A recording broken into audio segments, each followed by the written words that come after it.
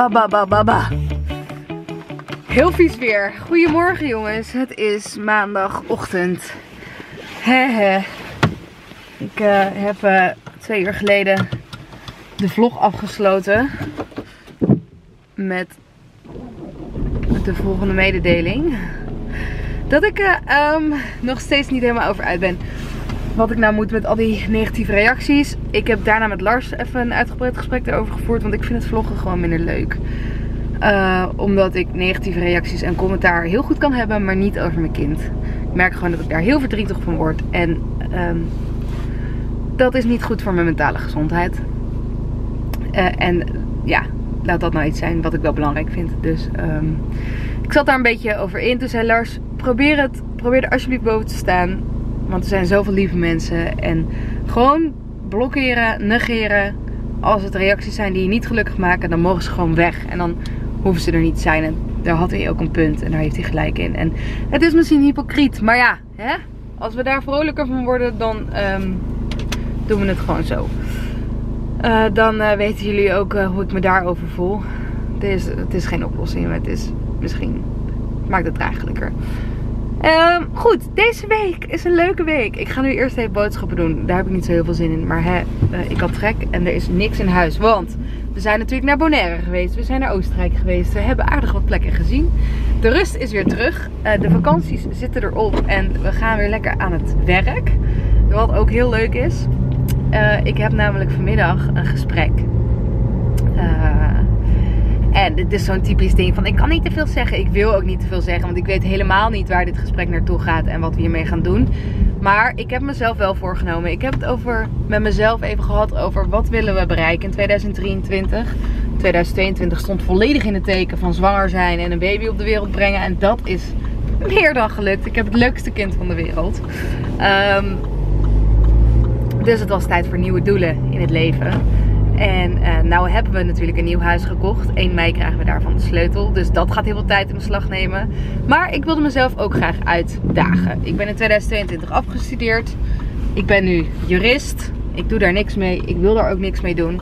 Maar die studie was voor mij wel altijd gewoon nog iets waarin ik veel leerde. Het was voor mij gewoon een soort van um, stok achter de deur waardoor ik mezelf bleef ontwikkelen. En dat mis ik een beetje nu die studie voorbij is. Dus daar wil ik weer naar op zoek. Um, dus ik ga op zoek naar iets wat me meer uitdaging biedt in het leven. Nou, daar heb ik vanmiddag een gesprek voor. Um, en uh, ik ga nog iets anders leuks doen. En ik weet niet of ik dat nu al... Ja, kan ik dat nu al zeggen? Ik weet niet, en anders knip ik het er nu uit. Maar ik ben bezig met een website, een eigen website. En ik ga je er meer over vertellen zodra het af is.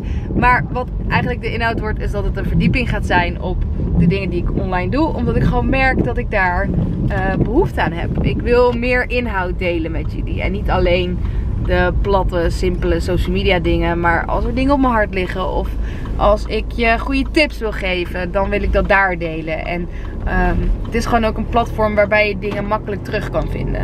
Ik merk gewoon nu met Instagram en YouTube, het is super moeilijk om dingen terug te vinden. Op een website kan je gewoon een zoekterm intypen en dan krijg je het gevonden. Dus, ook super leuk. Allemaal leuke dingen. Dus, eh, uh, oh, ho, ho, ho, ho, ho, ho, ho, ho, ho. Dan ga ik niet hier parkeren. Hij zag mij even niet. Dan gaan we hier wel parkeren. Vind ik ook goed. Zo zie je maar, hè. Zo zet je de negativiteit, negativiteit van de ochtend snel naast je neer. En we gaan gewoon weer knallen en we gaan er weer wat leuks van maken. En ik ben heel blij dat jullie kijken. En ik vind het nog steeds leuk. En ik geniet ook van jullie en van dit. En ik heb een leuk leven en ik heb een leuk kind en ik heb een leuke man en ik heb jullie en het is allemaal oké. Okay. Everything will be okay.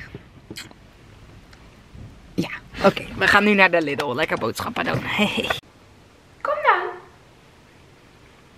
Oeh. We zouden eigenlijk vanaf um, januari beginnen met de kinderopvang. Maar we staan in de wachtrij. Dus we mogen nog niet naar de kinderopvang. En daar is mama stiekem heel blij mee. Ja, het is veel te gezellig nog samen, hè? Wij vermaken ons wel. Deze slaapt de hele ochtend. Dus kan mama 's ochtends werken en dan daarna lekker met jou zijn. Maar het was zo gezellig de hele tijd. Wou je eten? Dacht je dat je naar de borst mocht om te eten?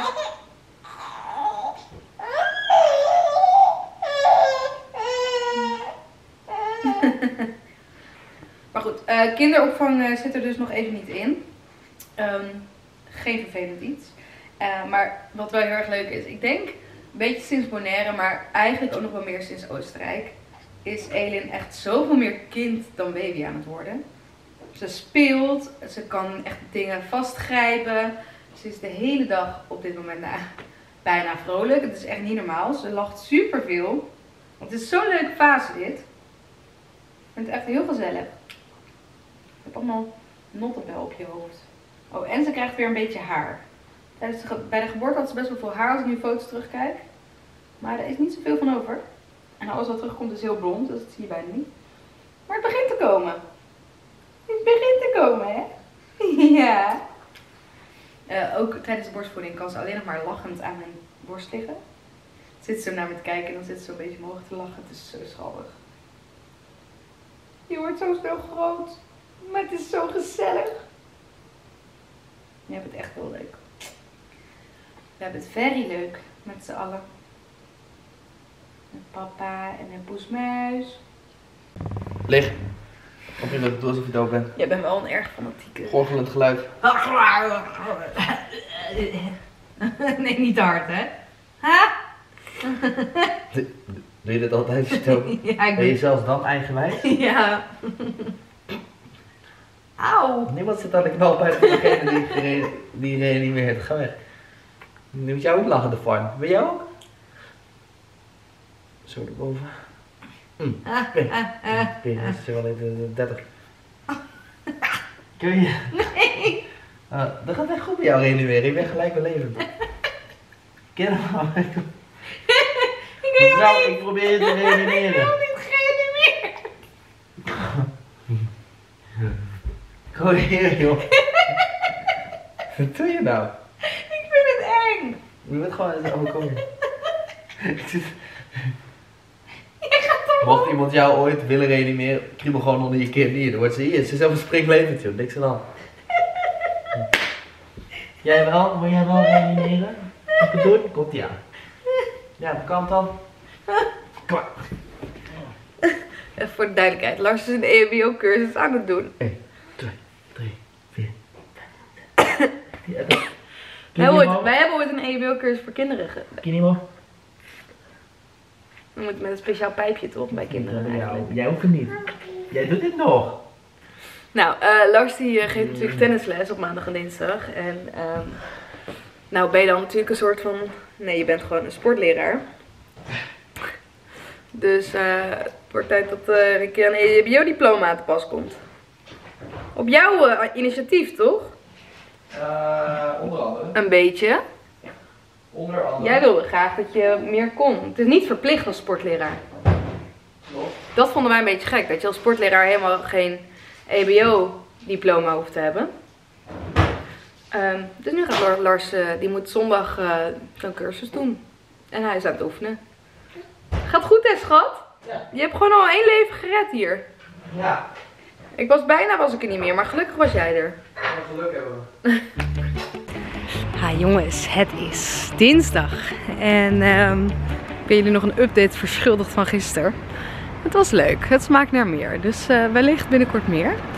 Ik was even een stukje wandelen. Dat is wel echt het nadeel als het slecht weer is. Dan ben je geneigd om lekker binnen te blijven en dingen met de auto te doen. Maar Lars en ik hebben afgesproken dat we proberen om Elin iedere dag in ieder geval heel even buiten te krijgen. Uh, dus dan uh, maar lopend boodschappen doen. Dat is gelukt. Uh, nu naar huis en dan een receptje maken. Want um, heb ik het nou verteld of niet? Nou, ik ga ervan uit dat ik het heb verteld. Er moet nog iets online. Een hele goede morgen jongens. Het is... Goedemorgen. Goedemorgen. Het is uh, woensdagochtend.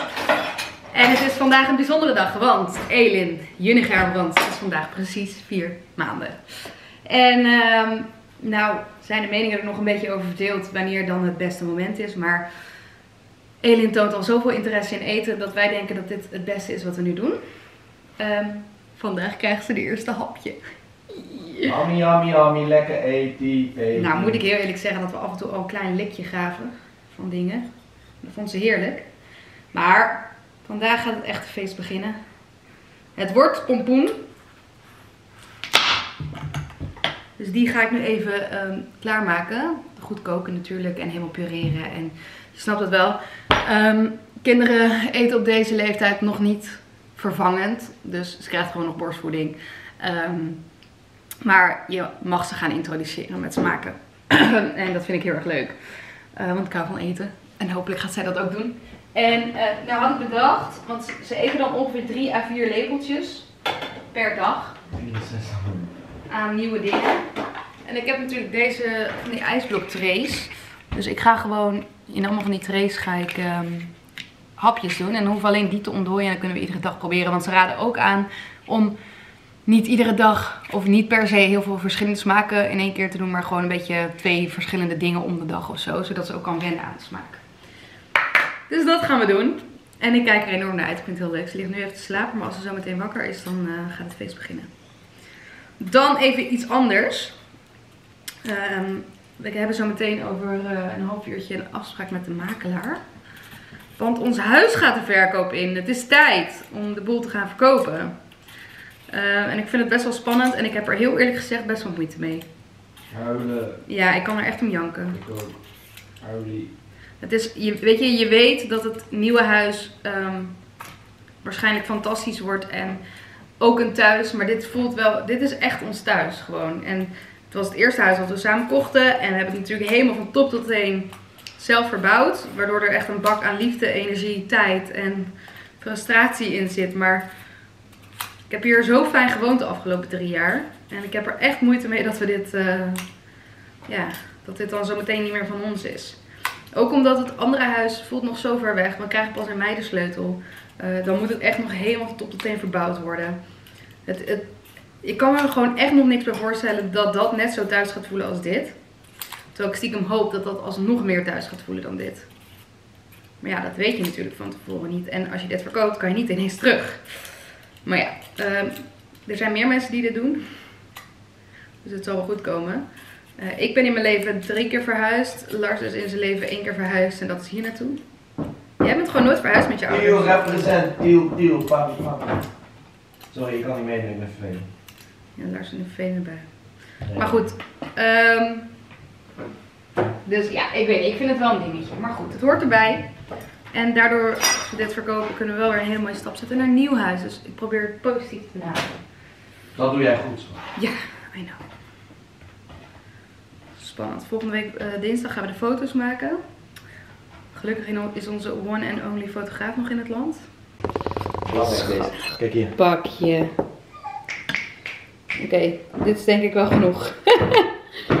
Zielig lepeltje. Lekker, Hami. Mhm, lekker, lekker. mhm. Komt ie.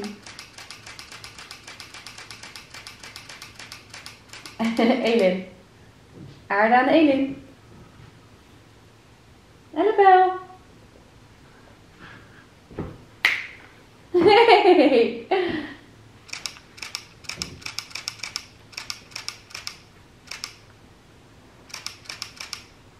Vind je het wat? Hey, is het lekker? Ja, ik schiet hem helemaal vol hoor, je moet maar kijken. Goed? Ja. Kijk, let op, let op, let op, let op.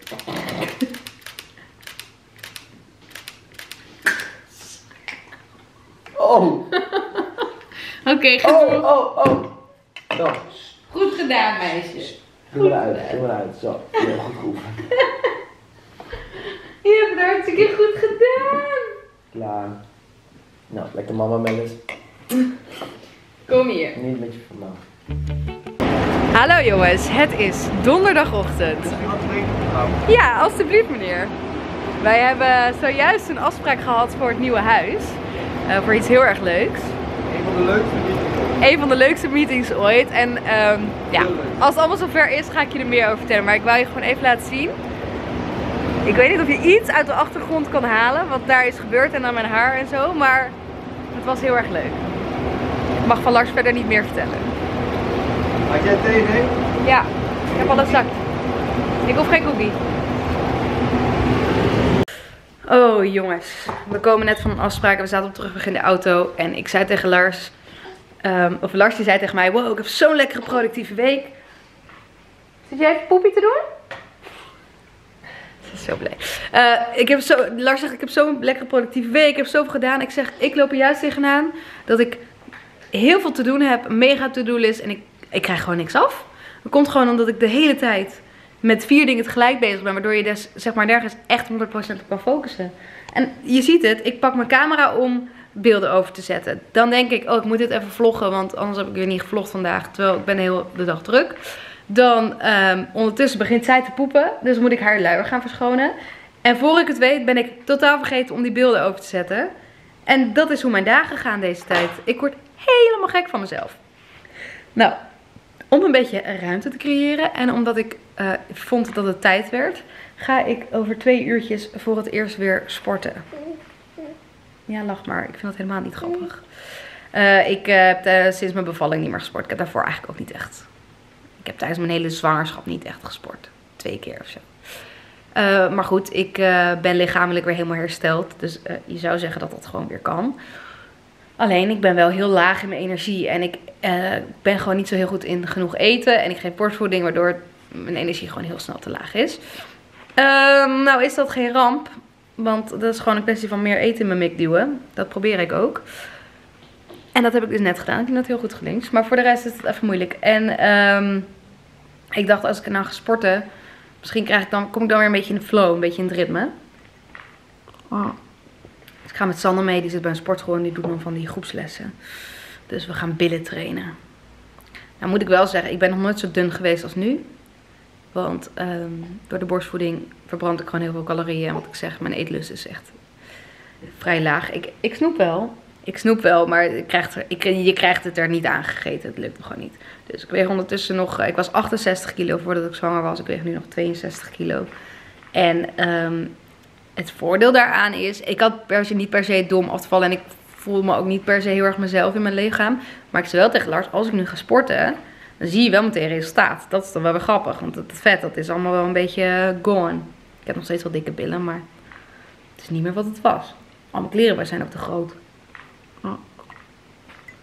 Dus ben ik minder over te spreken. Maar goed, ik weet ook dat veel mensen daar moord voor doen na hun bevalling. Dus ik probeer er niet veel over te stressen of over na te denken.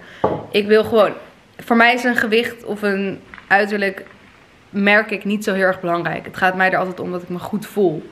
En dat voel ik me momenteel niet. Dus daar moeten we wat aan gaan doen. En dan heb ik liever dat ik 68 kilo weeg en me goed voel dan 62 kilo en me niet goed voelen. Dus daar moet ik even een balans in vinden. Ja, struggles. Nou moet ik zeggen dat ik daar ook wel echt naar uitkijk aan ons nieuwe huis. Komt steeds dichterbij natuurlijk. Maar um, in ons nieuwe huis hebben we zometeen een apart kantoor. Zit naast het huis zit een garage of een schuur. En die um, is nu schuur, maar die gaan wij ombouwen tot echt een kantoorruimte. En het lijkt me zo chill. Want bijvoorbeeld als Lars voor Elin aan het zorgen is. Wij hebben gewoon, we doen zoveel mogelijk 50-50. Ik ben natuurlijk wel meer met omdat ik ook eten geef en zo. Maar over het algemeen doen we dingen 50-50. Uh, eh, maar als er dan iets aan de hand is, je bent toch snel geneigd om je er weer tegenaan te gaan bemoeien. Terwijl dat is niet de bedoeling als Lars uh, met Elin is en ik aan het werk moet. Uh, dus dan is het gewoon heel erg lekker als je ook de deur dicht kan trekken. En, even snel nog werken en dan um, zo meteen sporten. Ik zie er zo tegenop. Echt. Hallo jongens, het is vrijdag en we zitten weer bepakt en bezakt in de auto. We gaan niet op vakantie. We gaan een weekend naar Centerparks. Uh, met uh, Elin in de bek. Die paste ook nog net in de auto. We zijn nog nooit zo vol geweest. Nee, we hebben nog nooit zoveel auto gehad. Maar dat komt vooral door die kinderwagen. Door het matras denk ik. Ja, dat bedoel, voorheen kon dat makkelijk. Nu ja, precies. Niet. Um, we zijn um, um, ter gelegenheid van, ja, niet echt ter gelegenheid van je moeders verjaardag. 58-jarig bestaan van mijn moeder.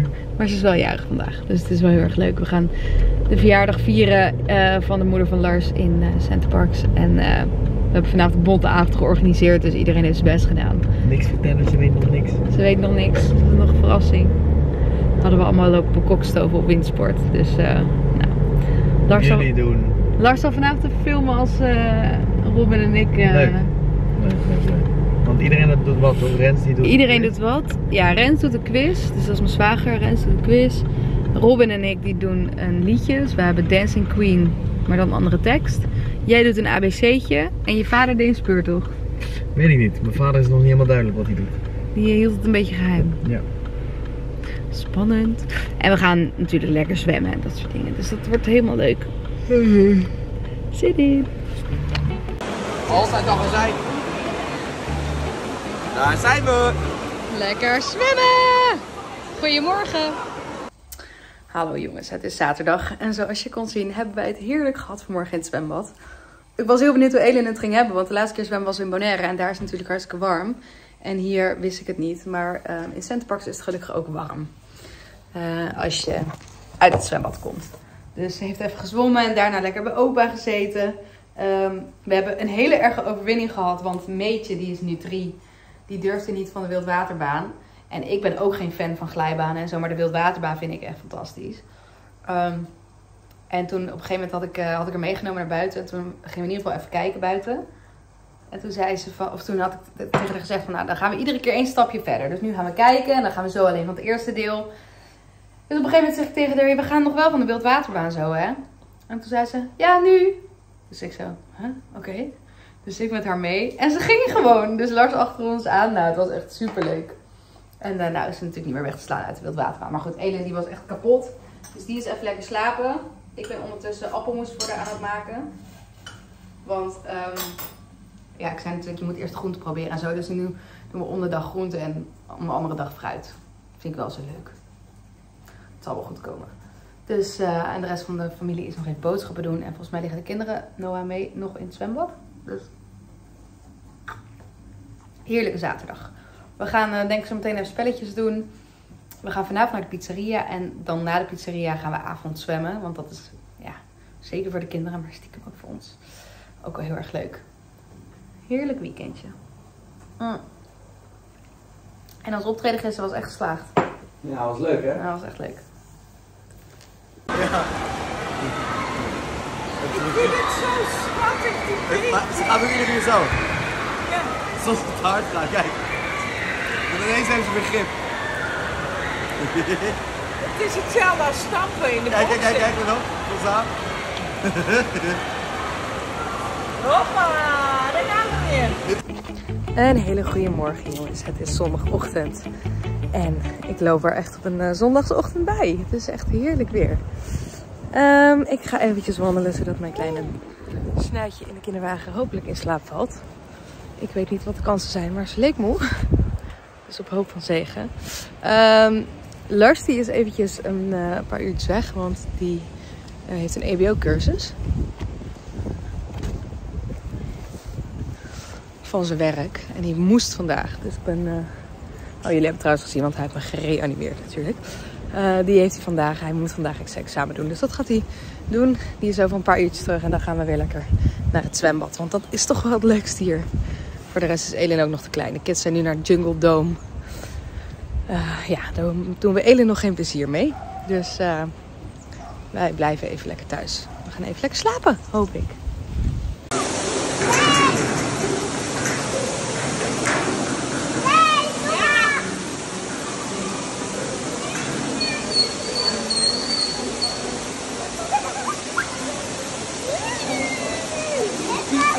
Zo jongens, we zijn weer lekker thuis. We hebben echt een onwijs leuk weekend gehad. Het was zo gezellig.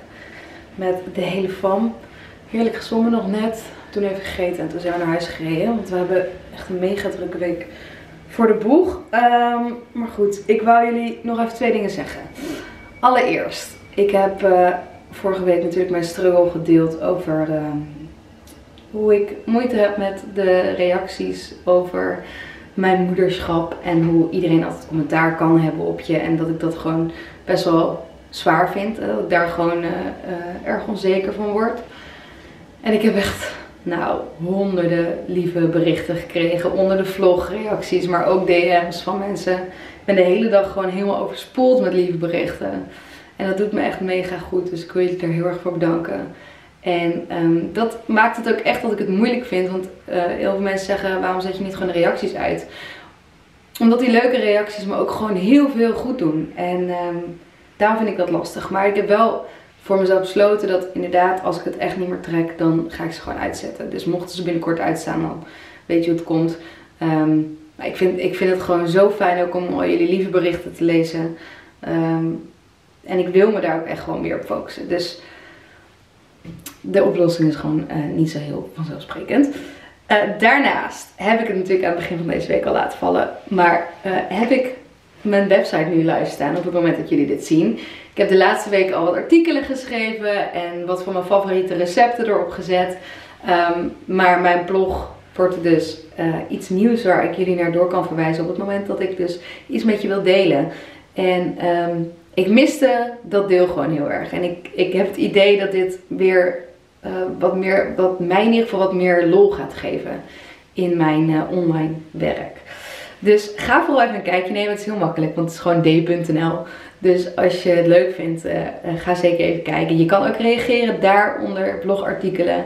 Dus um, als je lekker zin hebt om te kletsen, dan kom daarheen. Laten we daar kletsen. Ik lees alles. Dus um, lijkt me heel erg leuk. Laat me weten wat je ervan vindt. Uh, laat me ook vooral weten wat voor dingen je er graag zou willen zien. Want uh, ja, het is natuurlijk uh, wat nieuws. Ik moet ook eventjes wennen. dus knoop hem even je oren. d.nl, ga even kijken. En dan wil ik je heel erg bedanken voor het kijken naar deze video. En um, een hele dikke knuffel voor jullie.